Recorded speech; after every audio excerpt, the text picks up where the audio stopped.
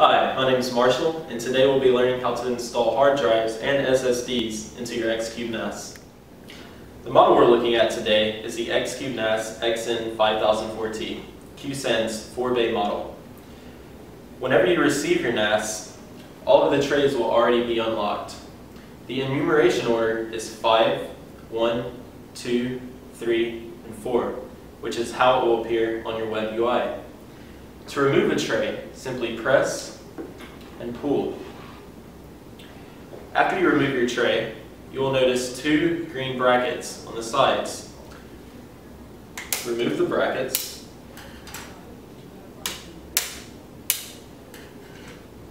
And insert the hard drive face up. Today we're using a Toshiba hard drive. Replace the brackets on the side.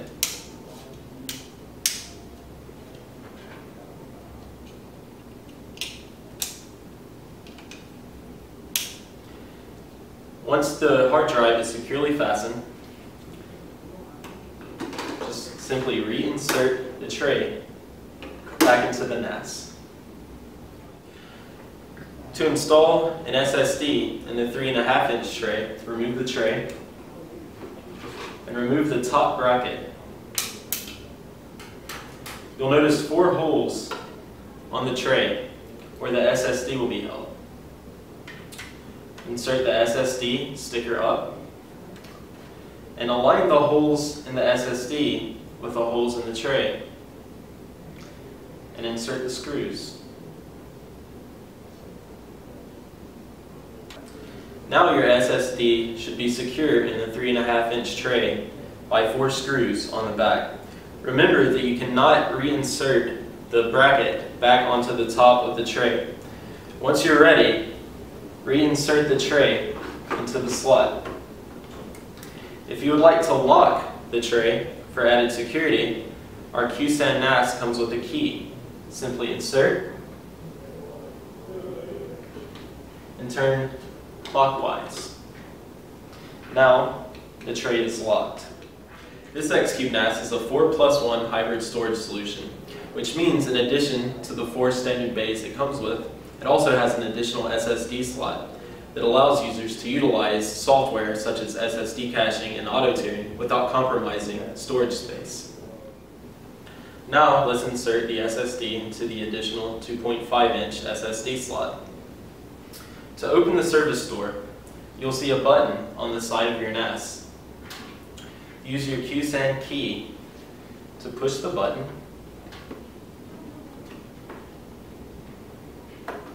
and open your service door.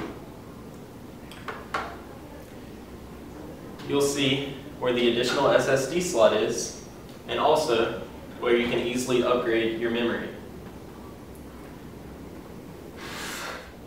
To remove the SSD tray, simply press the button and pull. You'll notice some text on both sides of the SSD tray that says SSD with an arrow pointing straight up. This is the side that you want the sticker of your SSD to be facing up. You'll also notice four pins on the inside of the tray. These are the pins that go into the holes on the side of your SSD. Now let's insert the SSD.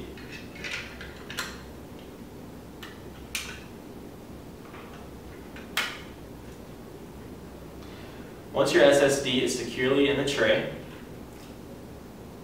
simply push the SSD tray back into the slot.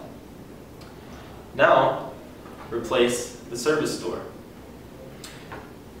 You want to start by placing the service door in the front first and simply press to secure.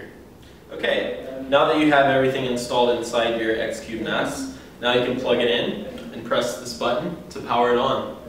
Okay, that's it for today. Thanks for watching. See you next time.